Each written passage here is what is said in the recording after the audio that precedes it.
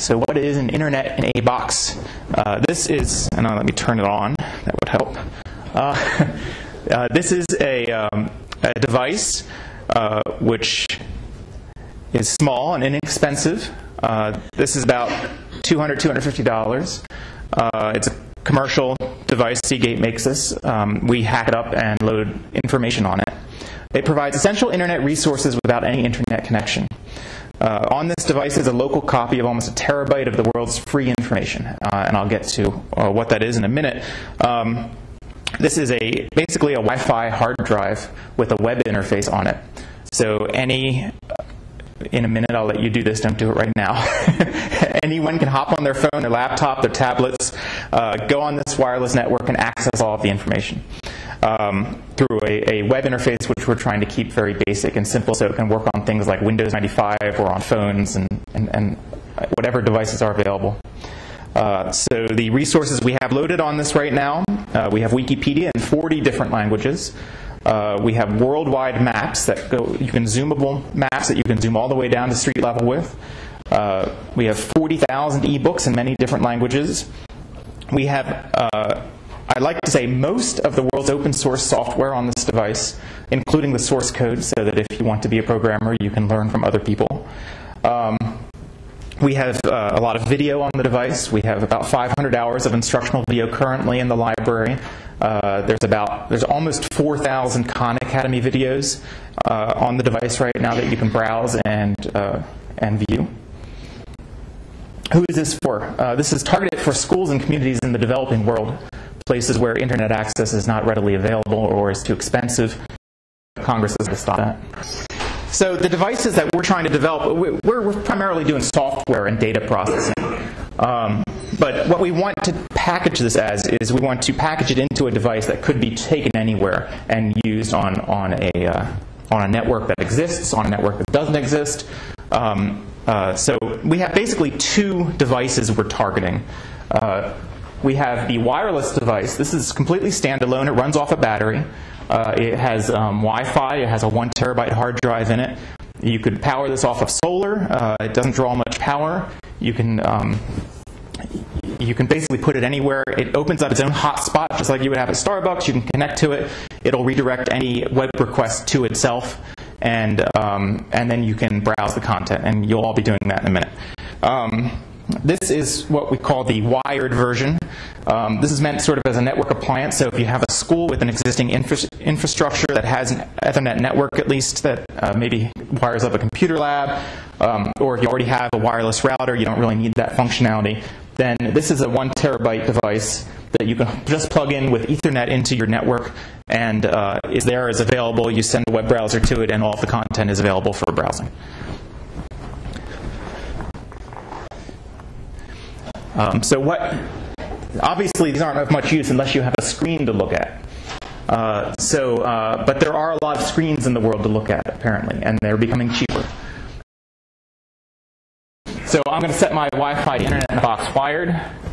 It's already there. Then I go to a web browser, and I go. Well, I'm already there, but I'll just to show you. If you go to knowledge, or there's an IP address I'll show you, to go to the box, then you get Internet in a Box, the site. Um, so this is just Firefox. Uh, the site is meant to be mobile friendly. That's why things are kind of wide and uh, there's not a lot going on on the screen. Uh, and we can select from our content. So let's look at Wikipedia. Uh, we have uh, over 40, 40, languages that Wikipedia is in. Um, so we have uh, Persian, Korean, I don't even know what that is, Arabic, uh, and all these are live and active.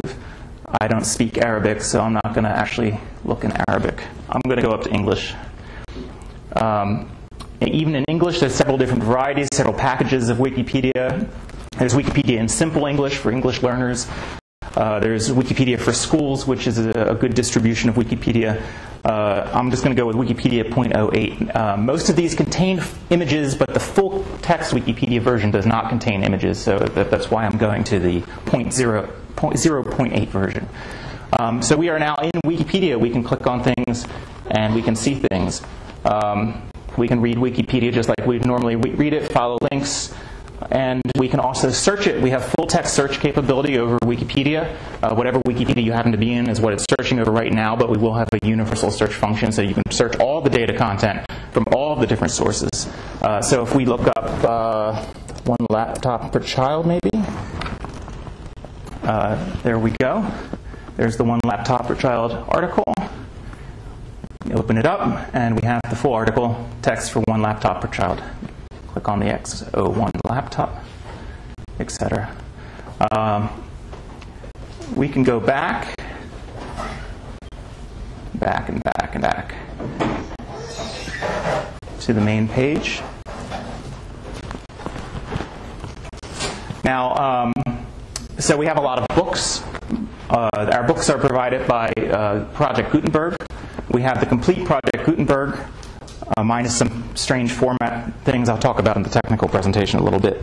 So if we were to search Project Gutenberg for uh, Wuthering Heights, maybe. There, auto suggested it. Uh, Joel put this together, this interface. Um, search for Wuthering Heights. There's Wuthering Heights by Emily Bronte. Uh, we can click on Wuthering Heights and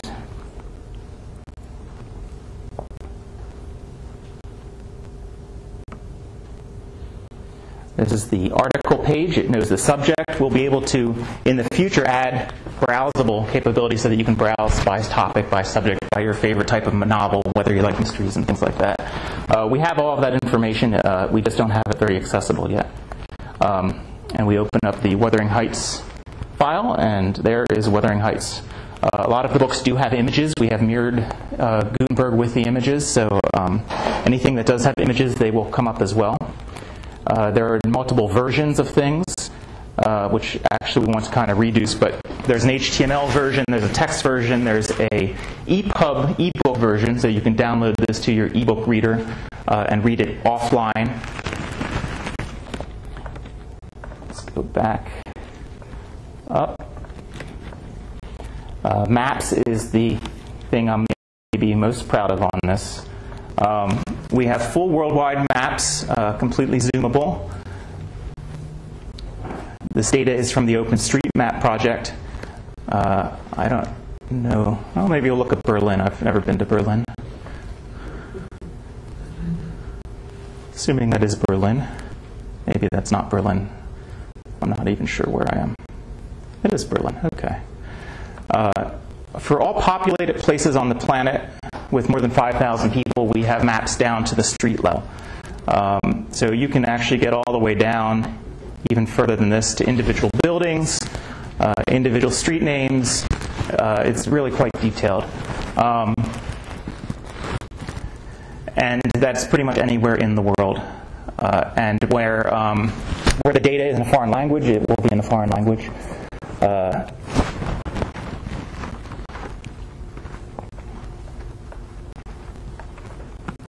So I find this exciting. This took more work than any of the rest of it at this stage.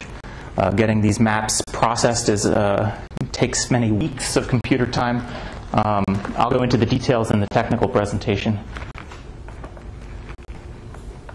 Uh, video, we've got uh, almost 4,000 Khan Academy videos. Uh, the Khan Academy videos are under Creative Commons uh, non-commercial license, so we can legally use them.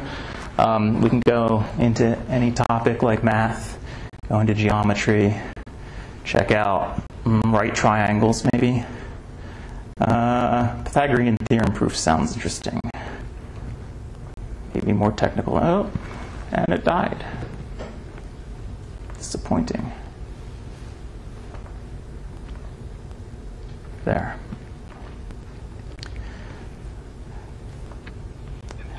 Now, we video uh, we um, support HTML5 video as well as uh, using either the WebM or the H.264 codec. Um, older devices are going to have problems with video uh, because let me mute that. Uh, older devices are going to have some problems with video because it just wasn't standardized until very recently. Um, but the content is there, so you can always download it and play it in a player that you might have locally, something like that.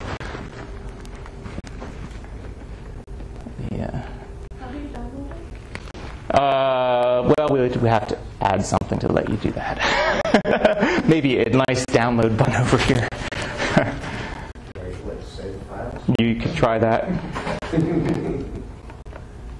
Um, uh, then software. Uh, I would uh, take shout outs. We have basically a full mirror of the Ubuntu repositories. Uh, all of the main Ubuntu repositories are on here along with the source code. So if you wanted to look at, I don't know, how um, Emacs is built, you can go to E, Emacs, and uh, there's the sources right there. Uh, so you can download that. You can also install Ubuntu on a local machine and use this as your software repository. So you can actually download down you can so you can install on local lab computers, and all those computers can then pull from this repository. Uh, in OLPC, you could have a sugar repo on here, perhaps. Um, uh, so it's it's a, a, nice data set, and it's nice. It gives everybody access to the source code. So how do I make something happen here? Right? So these are pick a browser and like that. That. How does it, How do I tell it to connect to our Wi-Fi? You're going to be able to. text stuff. I think I've heard about They have videos in there, uh, lessons on how to read and write, and a little bit of basic On the phone itself. On the phone itself, don't on it. Now, with that, Yeah, we can take our content and push it onto anything.